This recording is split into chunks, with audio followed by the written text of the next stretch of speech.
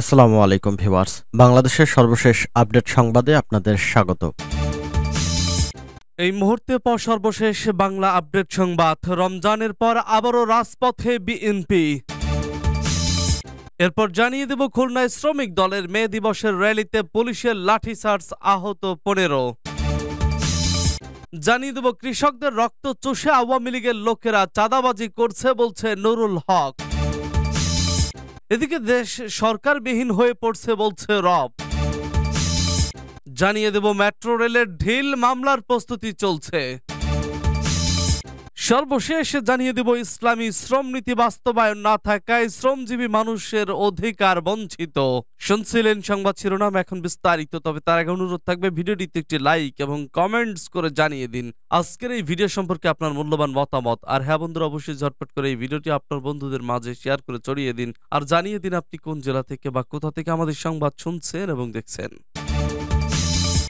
রমজানের পর আবারও রাজপথে বিএনপি। রমজানের পর বিভিন্ন দাবি নিয়ে আবারও রাজপথে নামতে যাচ্ছে বিএনপি। সোমবার আন্তর্জাতিক শ্রমিক দিবস উপলক্ষে নয়াপল্টনে দুপুর আড়াইটায় সমাবেশ ও র্যালি করে দলটি। সমাবেশ শুরুর আগে থেকেই নয়াপল্টনে দলটির কেন্দ্রীয় কার্যালয় ঘিরে সমবেত হতে থাকেন নেতাকর্মীরা। এ সময় নিত্যপণ্যের মূল্য বৃদ্ধির প্রতিবাদ সহ শ্রমিকের ন্যায্য অধিকার প্রতিষ্ঠার দাবি জানিয়েছেন বিএনপির নেতাকর্মীরা। সমাবেশ স্থলে ঢাকা মহানগর জেলা উপজেলা ও আশপাশের এলাকা থেকে ব্যানার ফেস্টুন হাতে অবস্থান নিয়েছেন বিএনপির নেতাকর্মীরা। শ্রমিক দলের সমাবেশ হলেও ছোট ছোট মিছিলের দলটির সঙ্গে ও সহযোগী সংগঠনের নেতাকর্মীরাও আসেন নয়াপল্টনে। সমাবেশ শুরুর আগে জড়ো হওয়ার নেতাকর্মীরা শ্রমিকের অধিকার প্রতিষ্ঠার দাবি জানান। একই সঙ্গে দলের চেয়ারপারসন বেগম খালেদা জিয়ার মুক্তির দাবিও করেন তারা। দলটির নেতারা অভিযোগ করেন, একদলীয় শাসন ব্যবস্থা ধরে রাখতে সরকার বিরোধী দলের নেতাকর্মীদের ওপর অমানবিক নির্যাতন চালিয়ে গ্রেফতার হয়রানি করছে। শ্রমিক সমাবেশ হলেও নেতারা আগামী নির্বাচন তত্ত্বাবধায়ক সরকারের অধীনে হতে হবে বলে দাবি জানান। তত্ত্বাবধায়ক ছাড়া কোনো দলীয় সরকারের অধীনে নির্বাচন হতে দেওয়া হবে না বলেও হুঁশিয়ারি দেন তারা। সমাবেশ শেষে নয়াপল্টনে কেন্দ্রীয় কার্যালয়ের সামনে থেকে র্যালি শুরু হয়ে শান্তিনগর মোড় ঘুরে আবারও কার্যালয়ের সামনে এসে শেষ হওয়ার কথা রয়েছে।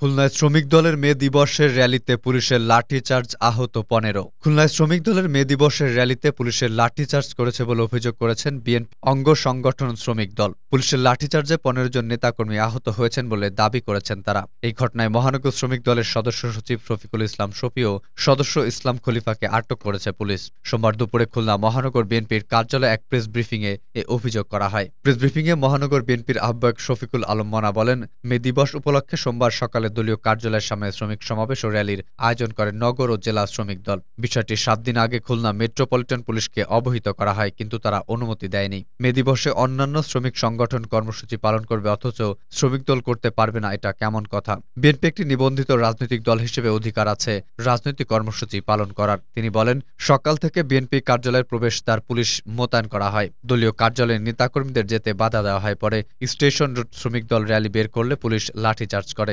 লাঠিচার্জে পনেরো জন নেতাকর্মী আহত হয় এবং দুজনকে আটক করে থানায় নিয়ে যাওয়া হয়। প্রেস ব্রিফিংয়ে মহানগর বিএনপির সদস্য সচিব শফিকুল আলম তুহিন সহ বিএনপি ও শ্রমিক দলের নেতারা উপস্থিত ছিলেন। এ ব্যাপারে খুলনার সদর থানার ওসি হাসান আল মামুন বলেন, অনুমতি না নিয়ে র্যালি করার চেষ্টা করলে তাদেরকে বাধা দেওয়া হয়। এ সময় দুজনকে আটক করা হয়েছে। কৃষকদের রক্ত চুষে আওয়ামী লীগের লোকেরা চাঁদাবাজি করছে, অভিযোগ নুরুল হকের। কৃষকদের রক্ত চুষে আওয়ামী লীগের লোকেরা চাঁদাবাজি করছে বলে মন্তব্য করেছেন গণ অধিকার পরিষদের সদস্য সচিব ও ডাকসুর সাবেক ভিপি নুরুল হক নূর। সোমবার দুপুরে রাজধানীর জাতীয় প্রেস ক্লাবের সামনে সম্মিলিত শ্রমিক পরিষদ আয়োজিত এক সমাবেশে তিনি এমন মন্তব্য করেন।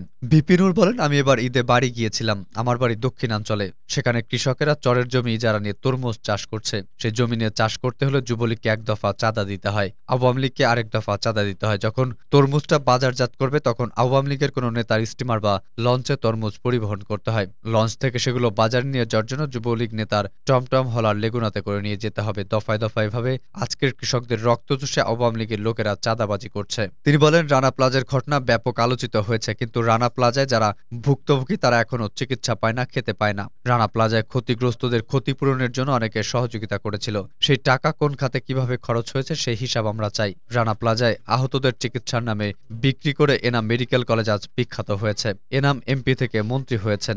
আওয়ামী লীগের হাতে আজ আওয়ামী লীগও নিরাপদ নয় উল্লেখ করে তিনি বলেন, গাজীপুরে এক প্রার্থী বলেছেন তিনি গুম হয়ে যেতে পারেন হাতকড়া পরানো হতে পারে, অথচ তিনি নৌকার মননে নিয়ে মেয়র হয়েছিলেন। নূর বলেন, রাষ্ট্রের কোন স্তরে শ্রমিকের প্রতিনিধিত্ব অংশীদারিত্ব নেই, কিন্তু আজকে শুধু তাদেরকে ব্যবহার করা হচ্ছে। রাজনীতির লাঠিয়াল বাহিনী হিসেবে ব্যবহার করা হচ্ছে। সমাবেশে আরও বক্তব্য রাখেন জাতীয় সমাজতান্ত্রিক দলের সভাপতি আসম আব্দুর রব। বিপ্লবী ওয়ার্কার্স পার্টির সাধারণ সম্পাদক সাইফুল হক, গণসংহতি আন্দোলনের প্রধান সমন্বয়ক জোনাদ সাকি, জাতীয় সমাজতান্ত্রিক শ্রমিক জোটের সাধারণ সম্পাদক মোশারফ হোসেন মন্টু, ট্রেড ইউনিয়ন ফেডারেশনের যুগ্ম সাধারণ সম্পাদক আরিফ দেওয়ান, মুস্তফা জামাল হায়দার সহ আরও অনেকেই। দেশ সরকারবিহীন হয়ে পড়েছে বললেন রব। মহান মে দিবস উপলক্ষে আয়োজিত শ্রমিক সমাবেশে জেএসডি সভাপতি আসম আব্দুর রব বলেছেন, অবৈধ সরকার ক্রমাগতভাবে রাজনৈতিক নিয়ন্ত্রণ হারিয়ে ফেলেছে। দেশ সরকারবিহীন হয়ে পড়ছে, এই ধরনের পরিস্থিতি একটি রাষ্ট্রের জন্য চরম ঝুঁকিপূর্ণ।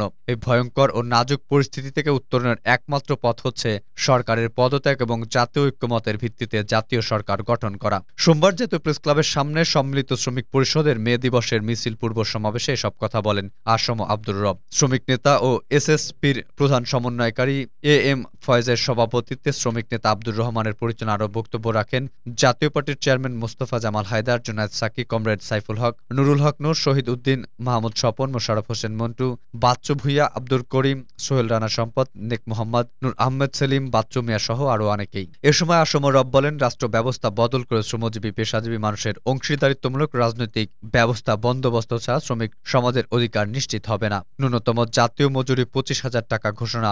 আইএল ও কনভেনশন অনুযায়ী শ্রমিক আইন সংশোধন, রাষ্ট্রীয় নীতি নির্ধারণ, শ্রমজীবী, কর্মজীবী মানুষের অংশগ্রহণ নিশ্চিত করা, কলকারখানায় অবাধ ট্রেড ইউনিয়ন করার অধিকার ও বাধ্যতামূলক আইন করা, নিরাপদ কর্মক্ষেত্র কলকারখানায় প্রস্তাবিত জরুরি পরিষেবা আইন বন্ধ করতে হবে।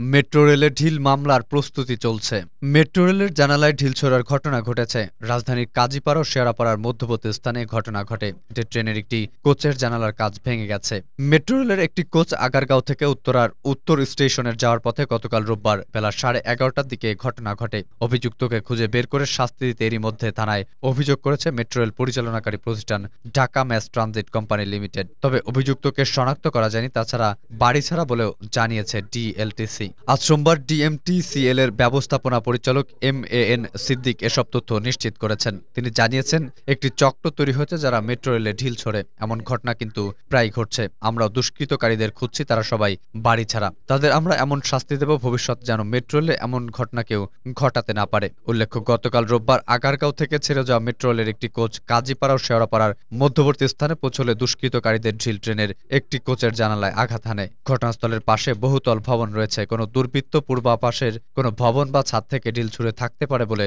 ধারণা করছেন সংশ্লিষ্ট কর্তৃপক্ষ।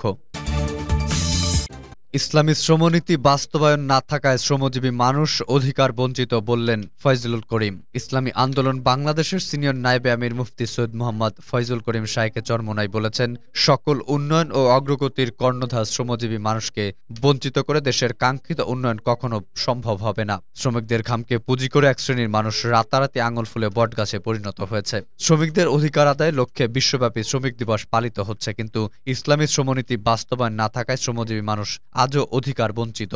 সোমবার সকালে রাজধানীর বাইতুল মোকাররম জাতীয় মসজিদের উত্তর গেটে ইসলামী শ্রমিক আন্দোলন, বাংলাদেশ ঢাকা মহানগর আয়োজিত শ্রমিক সমাবেশ ও র্যালিপূর্ব সমাবেশে এসব কথা বলেন তিনি। এতে বিশেষ অতিথি ছিলেন দলের মহাসচিব প্রিন্সিপাল মাওলানা ইউনুস আহমদ, প্রেসিডিয়াম সদস্য অধ্যাপক মাহবুবুর রহমান, সংগঠনের সিনিয়র সহ সভাপতি আলহাজ আব্দুর রহমান, সেক্রেটারি